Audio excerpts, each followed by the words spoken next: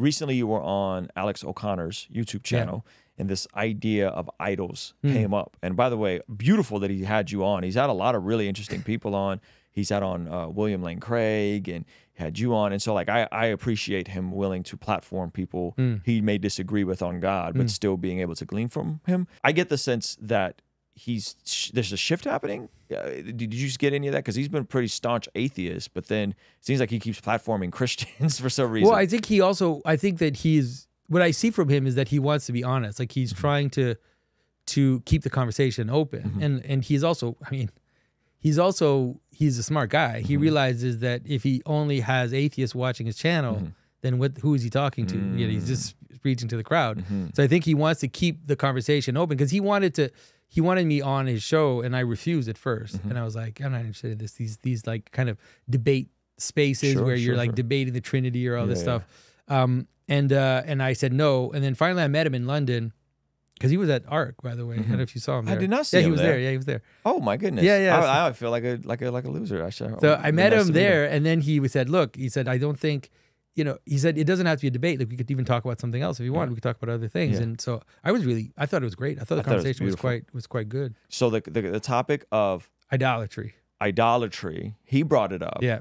and you gave, in my opinion, one of the most refreshing perspectives on the difference between idols and icons. Yeah. Right. And I covered it in a video where uh, a, a predominant, massive uh, Protestant pastor who's very influential kind of, I don't say came after the chosen, but basically said the chosen, who, which which I'm a fan of, uh, and my friends, mm, you know, create on that show. Basically said it's breaking the second commandment, right? Because there's an image of Jesus. Did he say that on a? Did he say that on a podcast on Yeah. a YouTube Yeah, video yeah, with his image? Uh, they were talking about the chosen. I mean, you're said that- watching his image tell you that. yeah, he said. He said. He said. Do you see the performative contradiction? right, right. Like you're literally watching an image, a moving image of him, Yeah. telling you Yeah, yeah, not yeah. to make images. yeah, yeah, yeah. That that's that's funny. I didn't think about it that way. That's a crazy. I mean, Yeah. it's like it's like think your things through, people. Yeah, like yeah. before you just go, think, at least understand the world you live in and the things you participate in before you go full on after something. My goodness. So so he makes this point and he says I, the chosen. The line for me is the second commandment, the chosen. And I guess that this is a, a very Baptist type of view about all depictions, all icons, all images, all paintings of Jesus in any way, shape, or form, or idols, right? And so I juxtapose your explanation, the difference between an idol and an icon, Yeah. right? And can can you unpack that because that was brilliant. Okay, so we I think if we want to do that, we, we should do it in two steps. Okay. Right. One is the problem of representation. First of all, like we need to. That's important to talk about that, Mm-hmm. Okay. right? And then we can talk about the problem of the idol afterwards. Let's say. Sure. So you know there is a second commandment, Uh-huh. right? It's right there. God says, "Do not make images," uh and said, "Do not make images of anything in heaven and on earth. Do not bow down to them. Do not worship them." Yep. And so then, right after that, Mm-hmm. God tells Moses to make images. Mhm. Right? He says, "Make cherubs. Make Mm. put them on the veils of the temple." You know, and then then he says, "Make a serpent. You know, Mm-hmm. lift it up in the desert. Have everybody looking at this serpent, and then they'll be healed of their of their disease." Mm-hmm. And it's like, what the, Mm. what is going on? Espe- Especially on Sinai itself, which is Mm-hmm. like God just tells them, "Don't make images, and and don't make images, especially not holy images." Mm-hmm. And then he says, Put two cherubs on the ark of the covenant. Mm-hmm. They will be the seat of God, the very seat of God, Mm. on which I will descend and manifest myself between these two images. Mm-hmm. It's like, what is happening? That is the weirdest thing, isn't it? yeah, yeah. But so already in scripture, in the very revelation, There's some tension there. there is a it's not a tension, it is moving towards helping you understand the difference between the idol and the oh, icon. Already good. it's right there in scripture. That's good. And and also the other problem that you have is it's very weird if you think about it's like why is the second commandment there? Mm-hmm, mm-hmm. Se- you know what's the reason for the second commandment? Mm-hmm. Because we can say like oh it's there God said that. It's like so God gives us His name right, and then God God people people uh, lift up His name. People worship His name. You find text in in Scripture in the in the Psalms in in the the prophetic text where it says I worship Your holy name. Mm. What, what's going on? Mm-hmm. How are we bowing down before the name of God? Mm-hmm. Was the name of God God Himself? That's a weird thing, isn't right. it? Right, right, right. Right. So what is going on there? So if God, if God gives us His name, Uh-huh. and then we we we celebrate his name. We lift it up because we're so grateful that God has given us his name. Mm-hmm. He's revealed himself to us in his name. And so we're willing to like lift that up and, and raise it up because we know it's by that means that he's showing himself to us. yeah. And the answer is, well, why can't we have an image of God? Yeah. That's a question. Yeah. And, and and the answer is, well, there is no image of God. Mhm. But is that true? Mm, That there's no image of God? mhm.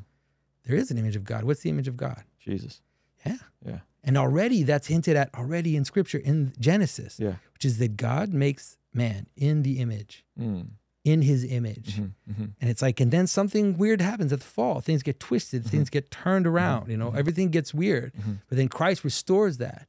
And I think that not only is making images possible because of the second commandment, image revealed in Christ, the fact that Christ restores the image mm-hmm. so that the visual aspect of this figure of Jesus Christ in the first century uh, is now part of the revelation of God. I mm-hmm. think it's the reason for the second commandment. Mm. That it's it's literally showing to us, revealing to us what the reason for that commandment was, because it was leading to Christ. Mm. It was saying, "Don't make images." Because I will give you an image. I will give you an image in my incarnation. Right? That is what it was leading to. Mm-hmm. If we don't understand the commandments mm-hmm. and how they relate to the incarnation, then we're missing the commandments. What are mm. we what are we doing? Like what's the point of the commandments? Because Jesus plays with the commandments.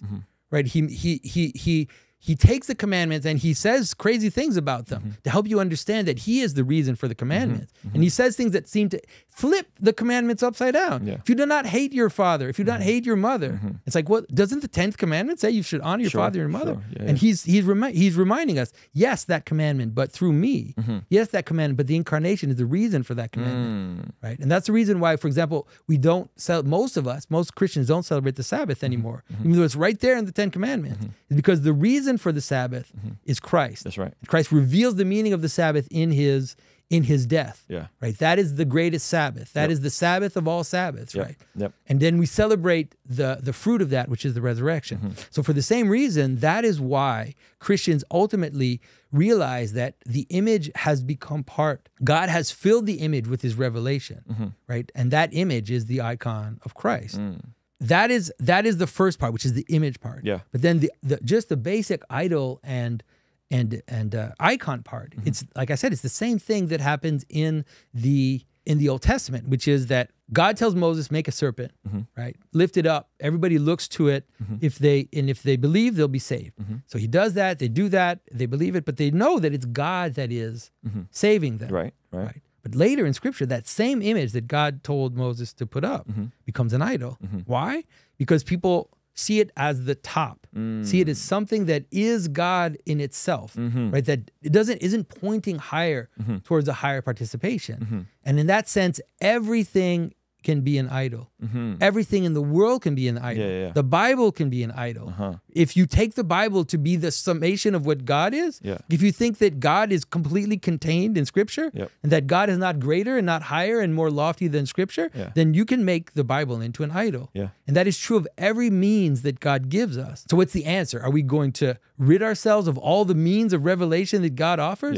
Of all the people that come up to us and present the grace of God to us that pray for us? We could say, well, that could be an idol because I could think it's the pastor praying for me Mm-hmm. that is the top of the, the thing. Right? I could latch on to my pastor and think that he basically is God because Mm-hmm. I see that his prayers help me. And it's like, no, the process of being a Christian is seeing how God fills these things with Mm-hmm. his glory and that ultimately they all participate in his revelation, Mm-hmm.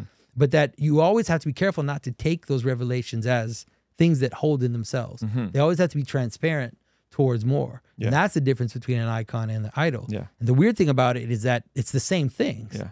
The It's, same it's the same physical Yeah. thing with two totally different purposes Exactly. and two totally different conclusions. Yeah, that's right. That's interesting. So you you you you said it, uh, and, and you can correct me if I'm wrong, but I think you said it.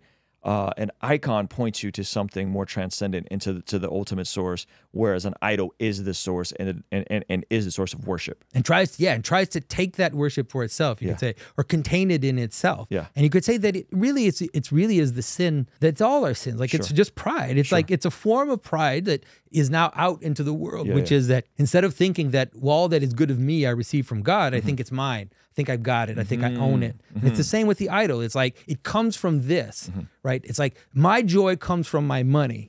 Well no Your joy doesn't come from your That's money.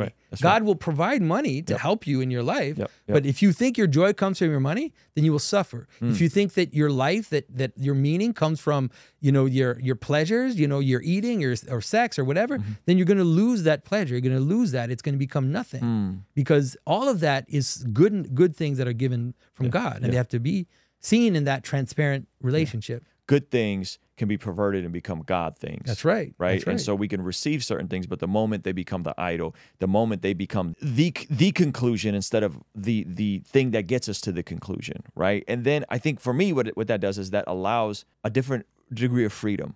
Right. And so it's like, am I buying a nice pair of shoes? You made the comments earlier, like you like shoes. I got some Jordan 11s on right now, right? Am I buying a nice pair of shoes because I'm I'm buying a nice pair of shoes to fill the void and the emptiness, and that's an act of worship? Or am I buying a nice pair of shoes because I appreciate the craftsmanship, I appreciate the design, I appreciate the the, the theme behind it, mm. And and and it serves a, a, functional utility? Is that a is that a reasonable way of looking at it? No, I think that that's exactly right, and that's true at every level of anything that you do. Anything you do. right? It's like Food, sex, music, art, everything. But even like structurally, like when I talked about how these patterns, you know, the pattern of art is supposed to pattern reality. Uh-huh. This is a good way to understand it, which is that if you are doing anything, like let's say you're, I don't know, you're you're building a uh, like a birdhouse, Mm-hmm. right?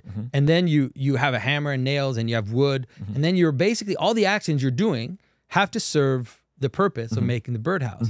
But if one of those action like captures you Mm-hmm. and you become like obsessed with like nailing, putting in nails, yeah. then at some point you're not building a birdhouse Not anymore, birdhouse, right? yeah, yeah. You, you, you've been completely run off the Yes. course of what you're doing. Yes. So in everything we do, it's always the case where you always have to be careful not to let the task you're doing become an idol.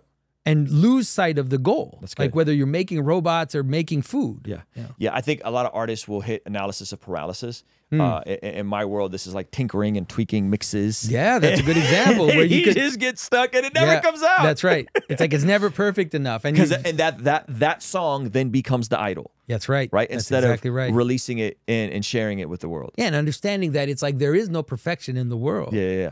You know, it's like when perfection, you know, it's like it's weird. It's like when perfection uh, manifested itself in the world, Yeah. you know, we crucified it. Yep. We, we killed it. Like that's what perfection that's what perfection looks like Yeah. in the world. Yeah. Is Jesus on the cross. Yeah. It's there is no like perfect thing uh, you know in the world. The world crucified perfection when it was manifested, so we should crucify our desire for perfection in the sense of art. There you go. That's, a good, way to say That's it. good. That could preach. Um, That could preach.